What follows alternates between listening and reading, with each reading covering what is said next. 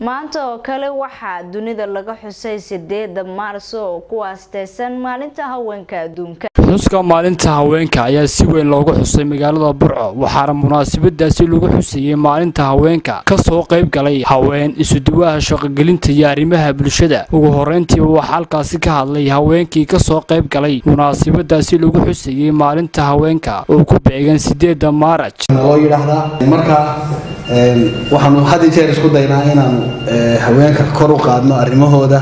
Waxaad tihiin xuduudda ugu badan wadanka somalilan aynu idhaahno ama dadka xataa ku nool somalilan inaad doorka doorna ka qaadataan baa la doonayaa wadatashiga iyo siyaasadda qaranka.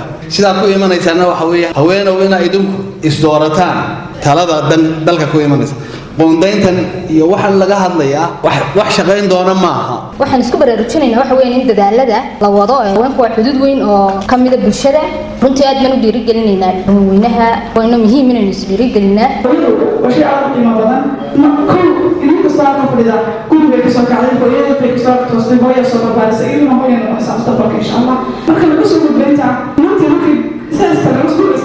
bilaaba seeska kow marka la soo dhigayo guriga la soo kicinayo inanta weyna ku soo tag nafteeda iyadoo ay kalsooni soo qadataa horta anigu katiin ahaan waxaan ahay koox kubadda cagta ciyaarta waxaa laga yaabaa fikradaha yaga iminka inta halkan joogta inay badh og tahay badhna maanta ugu horreysa inay ogaato laakiin haddana caqabadiyo wax kasta oo kala soo kulanay laakiin muhiimadeedu waxa weeye xilmigeeda inaanan cid nooga joogin dumarku cidi sheegi kari mayso inta ay awood leegiin cid qiyaasi kartaa ilaahay mooyaane ma jirto ee innaga ayaa isku dulminay ifka runtii waxa fiican haweenku inay xaquuqdooda gartaan qof walba xaq baadna lagugu leeyahay adna xaq baad leedahay. Laakiin haddii aanad xaqaaga garanayn waa nasiib daro waxaad arkaysaa dumar badan oo dhibaataysan oo guryaha jooga oo aan garanaynin meelay u maraan xuquuqdoodii ninkii baa biilkii ka goynaya kiradiibuu ka jarayaa noloshiibuu ka jarayaa gabadhaas waxay noqonaysaa gabadh iyada uun isla hadasho oo dabadeetana inay aakhirkiiba ay ku dhufato oo ay ma garanaysaa ee maskaxdeediiba ay isbedesho ayaa dhici karta.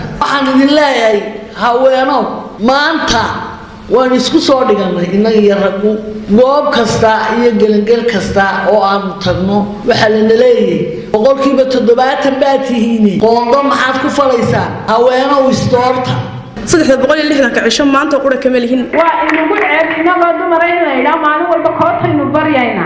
Yaynu koota baryina dumar iyo carruur baa codeeye dee aynu isu codayno inagio intaynu ragga halkan dhiganno bal aynu isku dayno inaynu xitaa gobolkan togdheer ama burco afar hablood u soo saari karno. Waxaan leeyahay marka hore aynu gacmaha inagu iska qabsanno. Oo inantu inanta kale walaasheeda ha ku kalsoonaato. Oo inantu inanta walaasheeda waxa u ogolaato oo aynu yeelanno han wax isu ogolaada gabadha fiican baa ka dhameeya. Waxaan aad iyo aad ugu rajo weynahay. Dumarka soomaalidu maanta heerkay marayaan waa heer wanaagsan.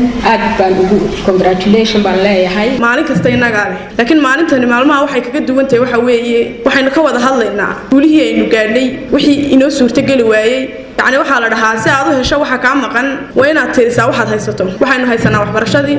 Oo de maynu aragnaa inan laleeya inantan waxbarasho ma tegi karto. May waa milestoniska ama guulaha aynu gaadhnay. Talabaad waxa weeye waxyaabaha aynu haysano waa caafimaadkii. Ma aragno dhakhtar la dhahayo inantan laguma daweyn karo ama dhakhtarra khaas ragga u furan. Maxaa inaga maqan? Wax badan baa inaga maqan. Waxaan leeyahay qof kastoo halkan fadhiya iyo qof kastoo nool adduunka macna u jooga. Inan kastoo halkan fadhida ama inan kastoo gurigooda joogta ama hooyo kastoo jirta kaalin bay ku jirtaa oo ay bulshada dadka ugu jirtaa waxaanse ku dhiirigelinayaa inay kaalintaasun ka soo baxaan oo qof kasta wixii uu qaban karo uu qabto. Waa sadaan maxamed xasan som news t v burco